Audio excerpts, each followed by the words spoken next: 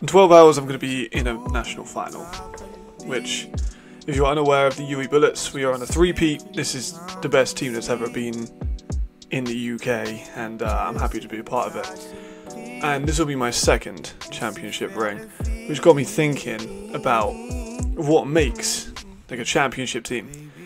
And I think the closest comparison to UE, because two of the players that I'm going to talk about also play for uh, UE and Rhein Fire, is just the attention to detail when it comes to building teams.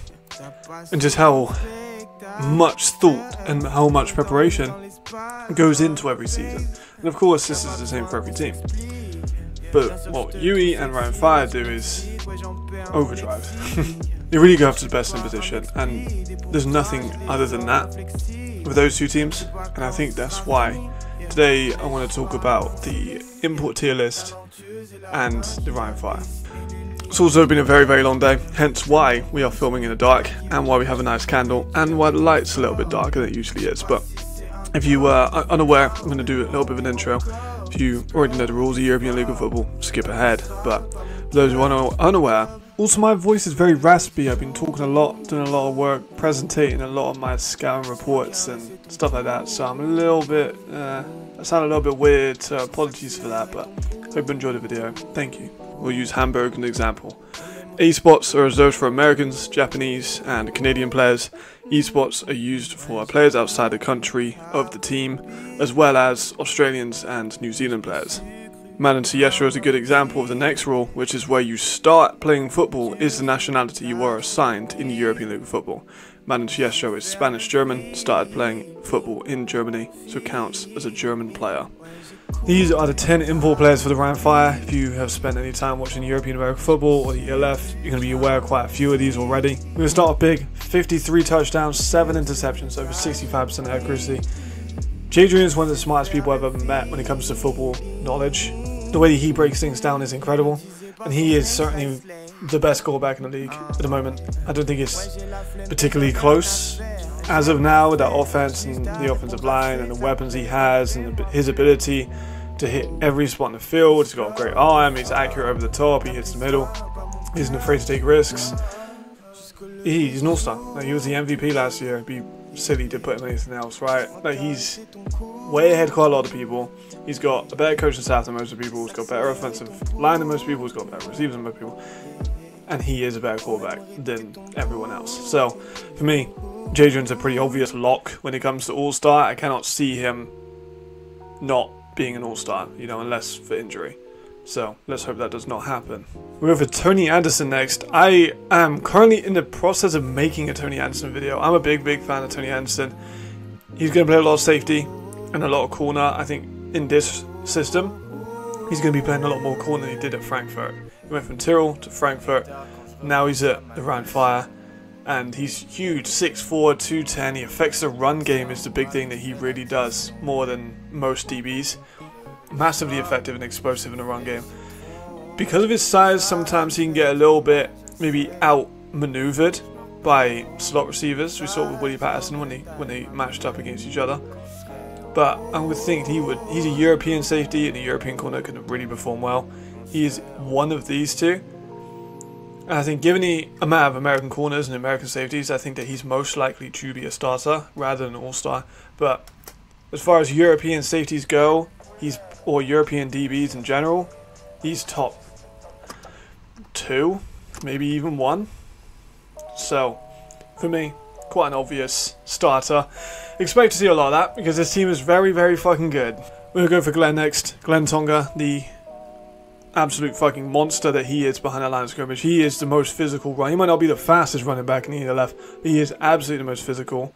He is going to run through anyone's fucking face if they're in front of him. Last season, another all-star vote for him. He finished with 7.23 yards a carry and 9 touchdowns. He also shored up his fumbles a lot. He had 6 last year and he only had 1 in this one. So he's improved that part of his game and he looks more athletic than he did as well. So you know, another all-star vote. He's got a great offensive line in front of him. He's going to be allowed to to maneuver. He's not much of a receiving threat. I don't think he's the fastest running back, but the physicality he brings, the ability to just ruin people, like his one cut and his spin move, he has a great bag, stiff arm as well. Like he's so physically dominant that it takes a while to bring him down. And for me, another All Star. While on the topic for the Brits, I'm going to go for Max Parkinson next. Another UE Bullet. In case you're unaware, Jadrian Clark also a UE Bullet. Max Parkinson was part of the CFL last season with the Saskatchewan Roughriders he is so fast off the burst and he's so big and so physically dominant that he's going to be a big, big part of this defense. I think he is going to fall into starter. I would like to see a bit more bend from him. And because of his inexperience, like he's only had a few seasons to develop his rush package, he doesn't have as deep of his bag as someone like, like Alessandro Fernandez or Nicholas Gustav or Jan Bombeck. Like, he just takes a while to develop, but because it's such a competitive defensive end rush, All Star is going to be jam packed. But for me, fits very clearly into a starter role. He's so he's like 270, maybe 260. He's big, he's wide. He's going to be able to affect the run if they put him inside as well. So with Tomsula, who was a former D-line coach, I think he's going to see even more production levels. And then he's already been just gradually spiking in his improvement. I think this year we see another peak for Max Parkinson.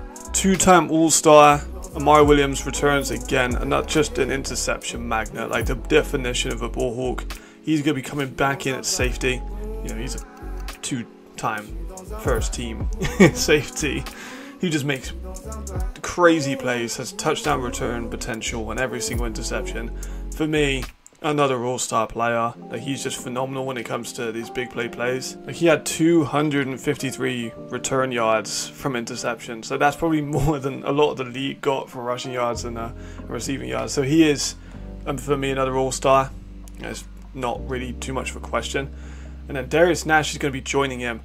I fucking love Darius Nash. I think he is awesome. He touched the uh, the XFL, the Vegas Vipers such an amazing athlete. I think that I'm, I'm like I'm not a massive fan of Darius Nash. He can play in the nickel or at safety. He's aggressive. He's physical. He can hit really hard. His footwork, when it comes to in general for pass and run, isn't like you know NFL level, but it's a lot higher level than you're going to see when it comes to a lot of these people.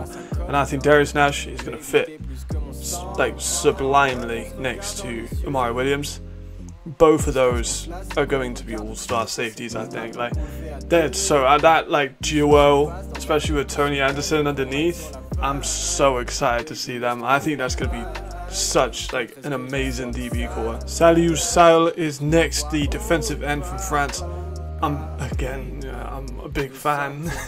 so much bend, so explosive. Like he's such like an, a massively explosive defensive end. I'm going to put him a starter again. Him and Max are going to be lethal, more of the physical big bruiser type when it comes to defensive end position. And then just the finesse and the athleticism. He's a little leaner.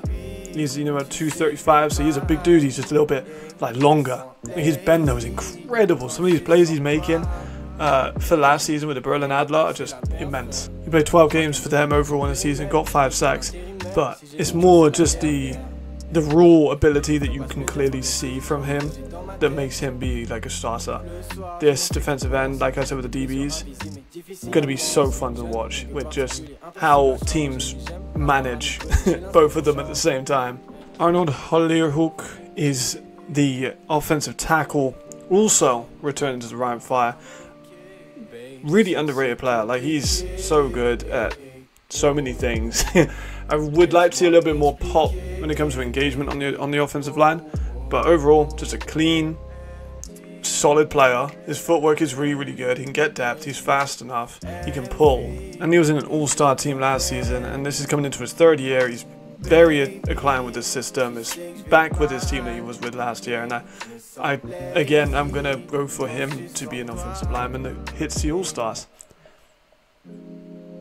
you know, he, they're just that good. the Rhein Fire are just that good. All their starters, by the way, because it seems like they're a level below them, which they technically are.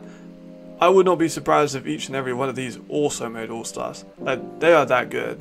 Sebastian Sagne, he's a Finnish receiver. He's coming over back from Helsinki Wolverines. He spent some time also in the CFL. Very accomplished receiver, 6'2", 200, built well, can extend the plays with the ball in his hands, can find open spaces in coverages, and obviously has like supreme athleticism. He's coming in, he's joining Harlan Kofi, he's joining a receiver we're going to get to in a minute, he's joining Jadrian, he's joining Glenn, he's joining the incredible offensive line. I, I'm going to put him in starter again. Another player won't be surprised. The only reason why he's not a level up is because it's wide receiver. There are going to be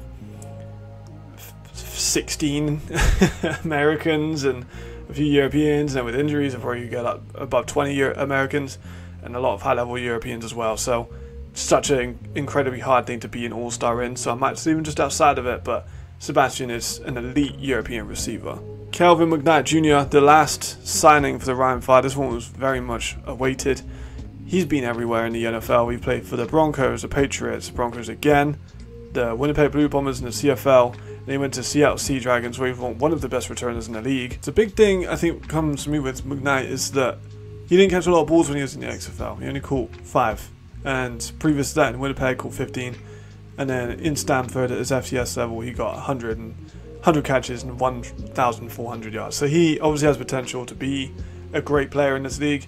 He's slightly smaller, so I'm actually going to play him in the same kind of role they played Patterson and Robitaille the last few years, just in a kind of slot.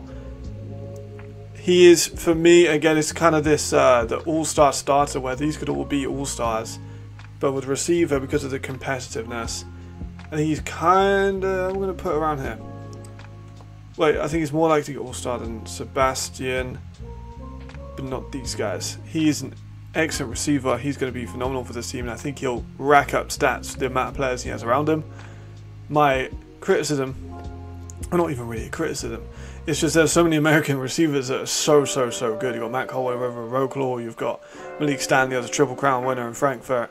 You've got these guys that are going to be taking up the spots, but he will be, and because we have Harlan Kofi and, and Sebastian, and we have Glenn, it's a lot of targets, a lot of people to um, to feed in the offense. Any reason why he's going to be a starter rather than all star, but to have five all stars and five starters is quite insane. Kind of proves how fucking outstanding the Rhein Fire look so far this year. I think people are being a little bit, oh, you know, Rhein Fire could lose a game here. Frankfurt and Paris looking real, real good. I think they've got the best import group so far. You know, I've done quite a few of these videos. I've got a playlist I'll link in the cards in the description. They're phenomenal. The recruitment that they've done over there is excellent from head coach to to DC to OC. Now they got, you know, former John Shoop, the former head coach, the quarterback coach. They've got Timor Beckman who does an excellent job everywhere. Like these guys are just putting together a masterclass of recruiting and, and squad building and honestly I'm super excited to see how they do this year. It's going to be a phenomenal team. Hope they all gel well together. Let me get, let me know what you guys think. Of course, this is going to be quite a decisive one if Rhein Fire quite a controversial team, but I'm going to go win a national championship tomorrow. Uh, that's why my voice has been quite raspy. Lots of talking today, so I apologise. Um, if you enjoyed this one, much appreciated. Thank you very much, and goodbye.